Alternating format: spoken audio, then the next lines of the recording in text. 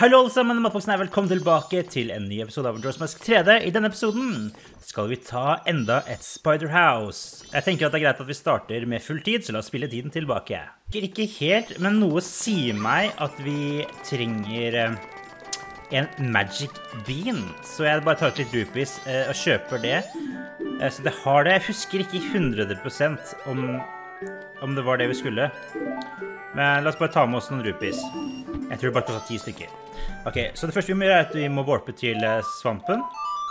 Så let's do that really quickly. Ok, og her er vi i The Southern Swamp. Og som vanlig så selger denne dekuskrøbben her selger Magic Beans til andre dekuskrøbber. Så hvis vi bare blir en skrubbelubb, så kan vi snakke med han. I'll just buy one of them. Thank you so very much. Ok, og nå må vi bare finne veien dit vi skal. Jeg tror egentlig det raskeste Nei, vi kan ikke valpe dit. Jeg tenkte vi skulle valpe til um, Deku Palace, men det er ikke noe warpoint der. Så da må vi gå den lange veien rundt. Det hadde kanskje vært raskere Å, gud! Jeg tror kanskje det hadde vært raskere å vært den Sora her, men jeg er ikke helt sikker. Skal vi se Kommer vi oss helt bort dit uten båten? Er jeg veldig usikker på. Det finner vi fort ut. OK, så langt så good, holdt jeg på å si.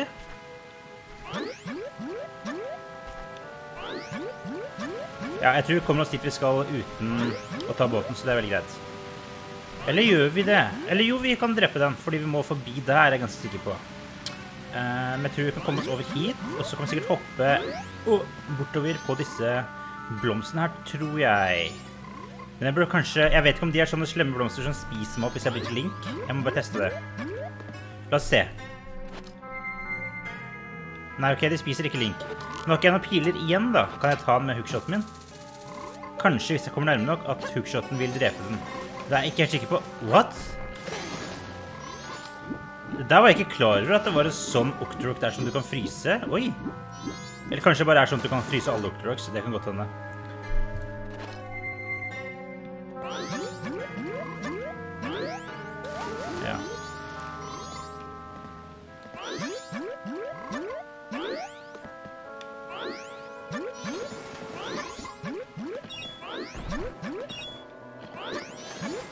Å nei!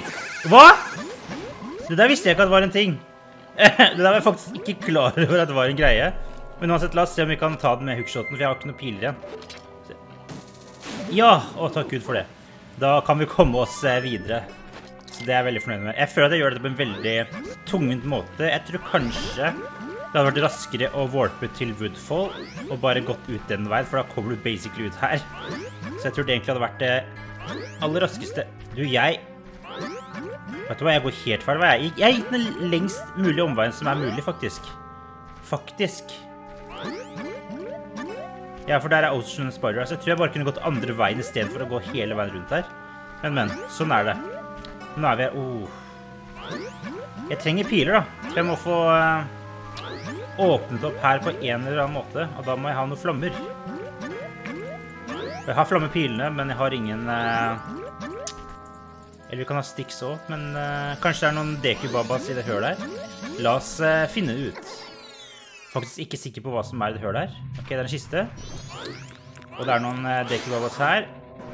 De har dekunus, men det er noen Ja, disse trenger jeg. For de gir pinner. Ok, da har vi det jeg trenger. Og her er det sikkert rupees. 20 rupees. Ikke verst. Ok, da har vi noen pinner. Jeg tror det er det vi trenger. Jeg burde kanskje vært der nede og sett om jeg fant noen mer piler, men jeg tror det går fint. Jeg hater de der. Ok, la oss ta fram pinnen vår. Let's go! Oh my god. Og du, det, det hjalp meg faktisk. Vi holdt på å hoppe ut i vannet. Så eh, takk, faktisk. La oss gå inn. I Swamp Spider House. Oh, en liten vovvov. Så hyggelig. Og noe ikke like hyggelig der oppe. Å, hjelp meg! Jeg er ikke et monster! Edderkoppens forbannelse. Det gjorde meg sånn som dette her. Jeg ber deg, inni her, finn dem alle. De gylne. De forbannede spiderne. Og bekjemp dem, fort! Og når du bekjemper dem, så ikke glem å plukke opp spider-tokensene. Eh, for det har eh, edderkoppenes ånd i seg. Hvis du løfter forbannelsen, skal jeg lære deg noe bra. Fort deg, vær snill. Dette er forferdelig. Ja, det ser ikke veldig godt ut, nei. Jeg tror vi trenger bugs her inne. Så jeg skal bare fange noen eh, i mine bottles uh, while I'm at it. Ok, da har jeg to. Jeg tror det er sånn at du kan plukke dem opp igjen hvis du slipper dem ut. Eh, hvis du er rask nok. Ok, så det skal være 30 edderkopper her uh, til sammen. Vi får se om vi klarer å finne alle sammen. Jeg tror kanskje jeg trenger piler så jeg håper at det er uh, noen arrows i noen av disse krukkene. Og som dere kan se, så er liksom edderkopper overalt. Akkurat sånn som i Ocean Spider House, er det fullt av edderkopper her også. Men jeg kunne godt uh, tenke meg noen arrows. Det er jo ingenting i disse gruppene, bortsett fra en skullslå, da. Da har vi to. De kan liksom være hvor som helst. De kan også være inni veggen, sånn som her. Kanskje jeg burde ha faktisk en uh, sånn klar. Så tror jeg det er sånn at hvis du kjapper deg, så kan du rekke å få en opp før du stikker av. Nei, de stakk av. Jeg tror ikke jeg rekker det. Men det er ikke så vanskelig å få flere, da, for det er bare å gå tilbake igjen, liksom.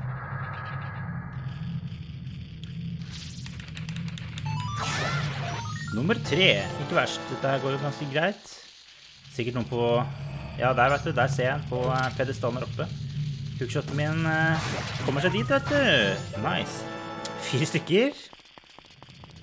Um, jeg mener å huske at jeg sleit mer med Spider-House her enn det som er i uh, The Great Bay-området, faktisk. Det kan jeg huske feil, for det er en stund siden jeg har vært her inne.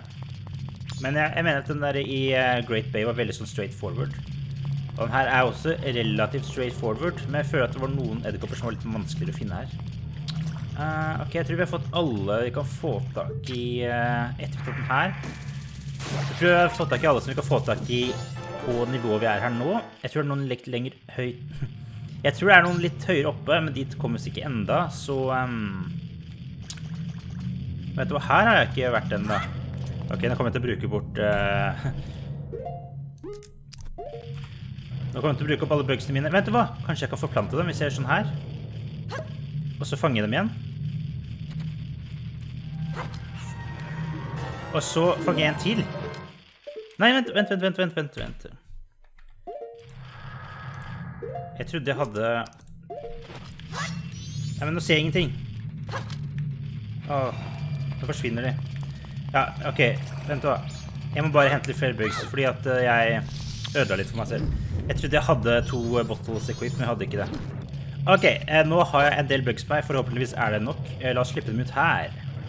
Jeg tror det er noen skulptures inne i veggen her også. Pretty sure there is. Kom igjen, mine små buggies. Grav dere inn i hølet der. And what do you know? There is a spider inside.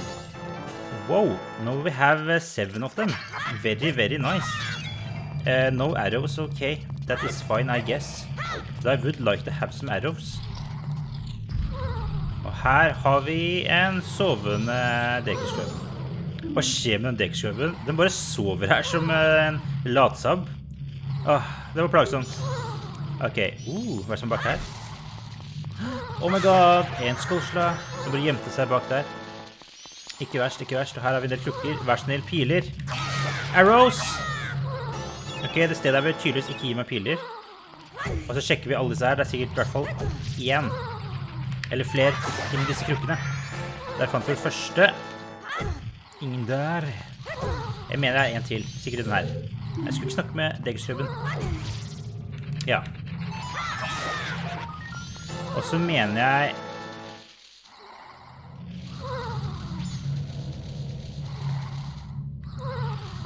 Men vi har jo en sang som vekker opp de som sover, så la oss spille Sonata of Awakening. You played the Sonata of Awakening. Oh my god, it's running away. It's running away really, really fast. It, og, og, så bare forsvant den inn i gulvet. Det er fint, det. Aha, men da kan vi bare bli til uh, Ledekus Club, og så kan vi fly opp! Woho!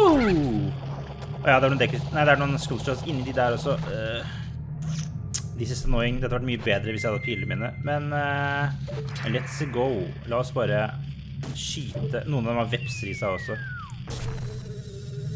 Sånn som de der, ja. Det er litt mindre hyggelig. Men jeg vet i hvert fall at én Jeg tror kanskje to av de har Scholarslass i seg. Den hadde én. Og jeg tror de kommer til meg. Jeg tror vepsene kommer for å ta meg. OK. Oh, hallo! Get away. Vet du hva, vepser er ikke godt for noe som helst. Jeg er faktisk ganske sikker på. I'm pretty certain that they aren't uh, good for anything. Du, du, du. Ok, la oss bare hoppe ned. Det er det letteste vi kan gjøre. Spin attack! Du, du, du, du, du. Ok, 13. Da er vi snart halvveis allerede. Det går jo ganske fort, egentlig. Men jeg spilte første gang, så tror jeg det var dette, denne, dette Spider-Racet som jeg slet mest med. Hvis jeg ikke husker helt feil. Fordi det var noen, eh, spesielt eh, i et av de siste rommene, som jeg virkelig ikke skjønte, skjønte noe av. Jeg husker ikke helt hva det var, da, som er litt sånn ironisk. Ok, men skal jeg, skal jeg inn her, eller skal jeg inn der? Jeg husker. litt. La oss se hva som er her først. Ok, ser jeg på den skålsla.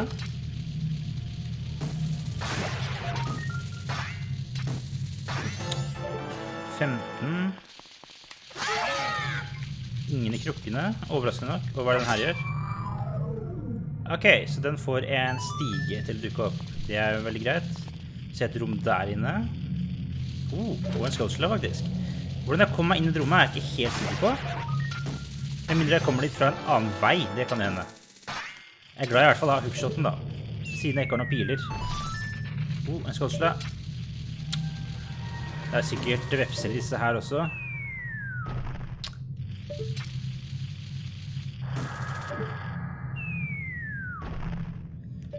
Er det en til, eller er det ikke? Det finner vi ut nå. Nei, ok, så det var kun én skålsle. Men hva er det som er på andre siden her, da? Mm, ok, her er en jobb for bildene mine. Og der ser jeg en skålslag som gjemmer seg bak der. Takket være et kamera, faktisk. Som hjalp meg Ok. Ja vel. Der fant jeg i hvert fall piler, da. jeg har spurt etter det ganske lenge. Men det var ikke det jeg håpet å finne. Skuldschula, er det noen inni der? Nei. Og nå kommer jeg ikke meg tilbake dit igjen, da. Hmm. Vet du hva, jeg lurer på en ting. Aha. Ja, jeg tror er dette rommet her er sleit sånn med å finne ting. Jeg vet det er tre i grass og sånn, men jeg tror det var noen i trærne også. Jeg tror det jeg ikke fant helt. Det er veldig greit med den der store spin-attacken, for da kan du bare gjøre sånn her, og så finner du en skålsla plutselig. Der var det en. Den gjemmer seg i det høye gresset. Jeg husker ikke om, jeg tror kanskje det var to som var her nede. Og så er det noen i tre. Der var det tre av dem. Jeg tror det var de jeg ikke fant, skjønner du. Hvis jeg ikke husker helt feil. Dette her er som regel siste rom jeg går til, men akkurat nå så gikk jeg hit relativt tidlig. Ok, hvor ble det av den siste skålslån nå? Hallo. Au, jeg tror jeg fant den. Ok, jeg hører... Det hører tror jeg bare bugs, ja det er det. For jeg tror ikke det er noe... Vet du hva? Jeg hørte noe mer. Jeg... Nei, nei, nei, ikke slipp dem ut, Link. Putt dem tilbake igjen. Putt dem tilbakast. Ja, jeg trodde... Jeg skulle bare høre etter om det var flere Skålstads, og det var det tydeligvis.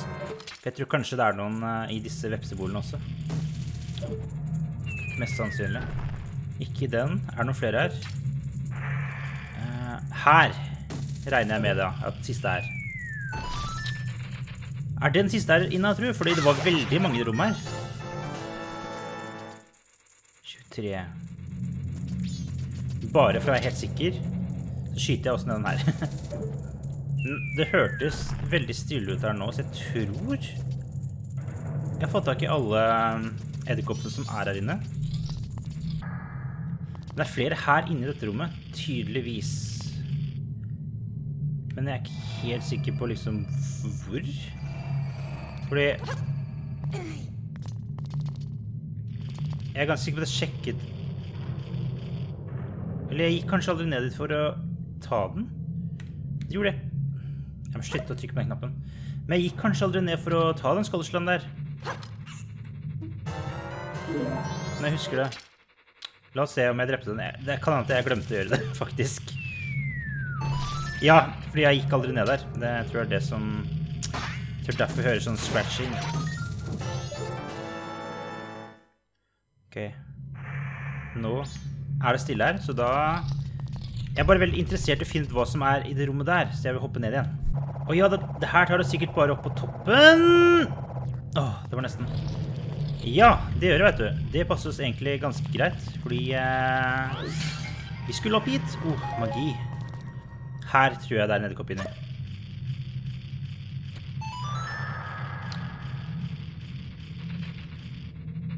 Kom igjen. Kom deg ut. Oh. Du, den kom ikke fra hølet! Den kom fra taket eller noe sånt.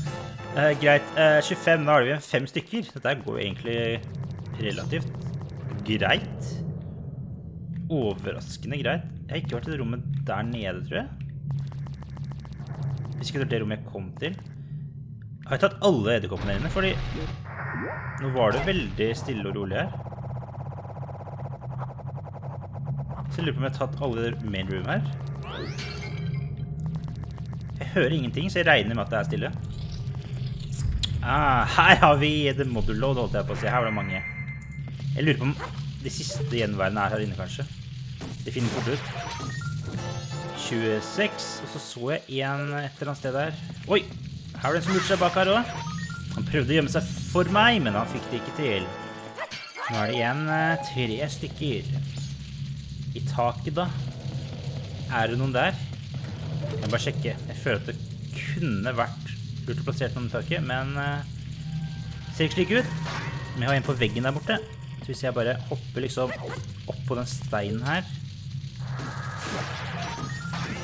OK, 28. Og så har jeg veldig på følelsen at det er en inni steinen her. Uh, la oss se, da. Aha. Var det verdt det å fjerne steinen? Jeg håper det, for det er veldig rart hvis de setter en stein der hvis det ikke skal være noe spesielt under der. Så regner med det er den ene Scotchland. Hæ? Seriøst? Ja vel. OK, der fant vi en. Ja, den siste er her et sted. OK, veldig greit. For da er vi Det gikk jo egentlig veldig fort. Jeg syns egentlig begge spoilerhousene gikk eh, overraskende fort, egentlig. Jeg mener, jeg husker at jeg sleit så mye med dem før, men da visste jeg jo ikke hvor den var, da, siden det var første gang jeg spilte, ikke sant? Nå som jeg har gjort det Jeg har sikkert gjort det sånn tre ganger, i hvert fall. Før, så er det ikke like vanskelig, og jeg tror dette er utgangen. Så da er vi egentlig ferdige her, da. Det gikk jo overraskende fort. Og nå er den ikke nederkopp lenger. Å, jeg har blitt reddet! Jeg trodde jeg skulle dø. Du skjønner, for en stund siden så fortalte noen meg at jeg kunne bli rik, og han ga meg den masken her. Han sa at instruksjonene eh, var skrevet et eller annet sted her inne, men når jeg skulle gå og se, så ble jeg forbannet. Hvis jeg hadde visst eh, at dette skulle bli så vanskelig, så hadde jeg aldri tatt det. Her! Ta den! Det er din. Oh, vi fikk en ny maske. The Terrifying Swamp House, og nå er vi ferdig med begge edderkopphusene. Da slipper vi å vakte på edderkopper lenger. Der fikk vi The Mask of Truth. This mask was passed down by the mysterious Chica. Now it's yours. This mask allows you to hear and understand the wisdom of gossip stones and the thoughts of animals. Åh, jeg har hatt nok av det her. Med en gang jeg får tatt meg sammen, så går jeg hjem. Det som er veldig kult med masken her, er Ok, hvis du tar på den masken her, så kan du faktisk eh, snakke med dyr, så det er ganske kult. Ruff! Dumme mester. Åh, øynene hans er alltid fylt med grådighet og lyst. Ja, så det er ganske kult. Uh, og denne masken her er veldig nyttig i et minigame som du kan finne på Romani Ranch, for de har et sånn dog race der. Og det du basically kan gjøre da, er at du kan um, løfte dem opp, og så kan du høre tankene deres. Og så kan du på en måte prøve å gjette deg fram til hvilket, hvilken hund som kommer til å vinne racet etter, ettersom hvor motiverte de er. på en måte, Så det er ganske kult. Og Du kan også bruke masken for å lese kikasteinene som er rundt omkring. Ok, men Da har vi gjort det vi skulle der, så da kan vi warpe tilbake til Clocktown. Men ok, folkens, det var alt jeg hadde for denne episoden av Majora's Mask 3D, og da ser dere neste gang. Ha det bra.